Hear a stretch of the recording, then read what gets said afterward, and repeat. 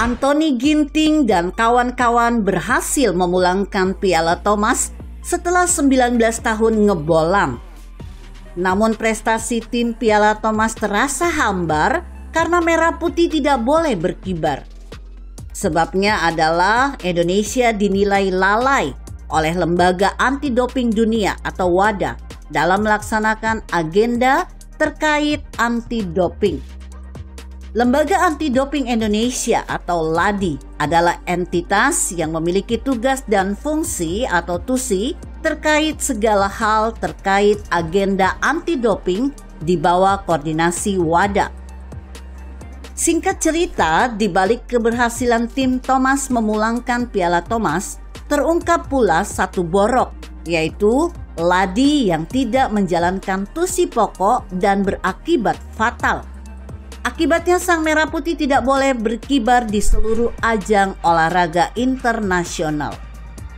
Luar biasa bukan bobroknya Ladi ini? Bikin lidah kecut kepedesan pengen ngomel. Apa dan siapa Ladi ini? Tugas dan fungsinya sangat sederhana sebenarnya. Memastikan seluruh agenda anti doping berjalan di bawah koordinasi Badan Anti Doping Dunia atau WADA nggak ada yang lain. Ladi berada di bawah Kementerian Pemuda dan Olahraga. Pengurusnya ditetapkan dengan SK Menteri, sehingga secara struktur Ladi setara dengan Direktorat Eselon 1. Sangat cukup dan layak sesuai cakupan dan lingkup kerjanya yang sangat teknis. Pengurus Ladi antara lain Ketua Mustafa Fauzi, Wakil Ketua Reza Maulana, Sekretaris Jenderal Desi Rosmelita, dan tim sekretariat Desi Tapuri. Sebenarnya kejadian gagalnya Indonesia mengibarkan sang merah putih bukan pertama kali ini. Pada saat event Asian Games tahun 2017, di mana Indonesia sebagai tuan rumah juga sempat terancam dijatuhi sanksi serupa oleh WADA akibat kerja amburadul Ladi tentunya. Beruntung Presiden Jokowi ketika itu langsung turun tangan melakukan lobby sehingga sanksi dimaksud bisa dianulir. Kebayangkan kalau diplomasi Presiden Jokowi tidak ada, tuan rumah sendiri tidak boleh mengibarkan benderanya. Dampaknya sepele tapi sangat serius. Ujung dari perlombaan olahraga yang membawa nama negara adalah memperdengarkan lagu kebangsaan dan pengibaran bendera kebangsaan bagi atlet negara yang naik podium juara.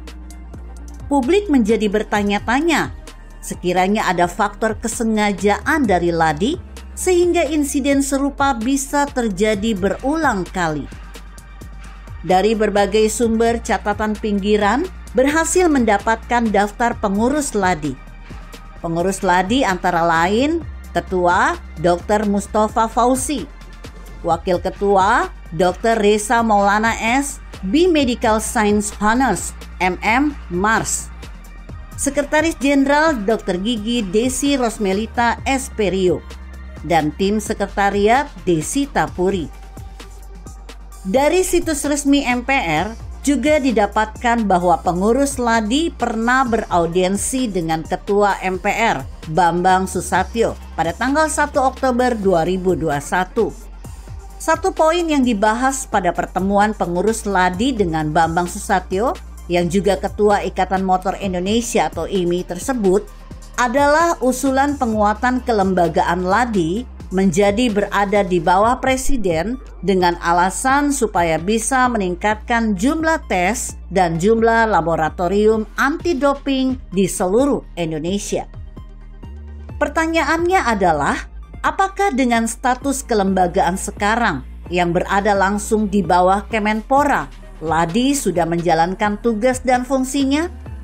Terbukti tugas dan fungsi tersebut tidak berjalan sampai berulang kali maka patut diduga ada faktor kesengajaan dari Ladi.